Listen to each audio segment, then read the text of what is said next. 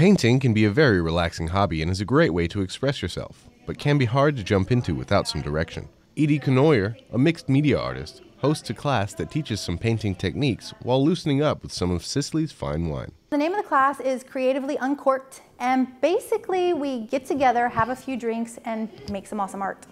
Adam Rosendahl and his wife joined the class to celebrate their anniversary this year.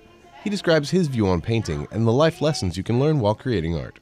Tonight was kind of a recipe for life, in my opinion. Uh, if you put some effort, some time, and a little bit of guidance into something, you usually end up with a product that you like. And uh, I think tonight that's what happened. There There's some things that went a little bit wrong, but if, you, if everything's easy, then it's not worth doing. In the end, everyone in the class left with more than just a new decoration for their wall. They made memories, learned a new skill, and hopefully discovered something about themselves in the process. From Naval Air Station Sigonella, I'm Seaman Luke Askew.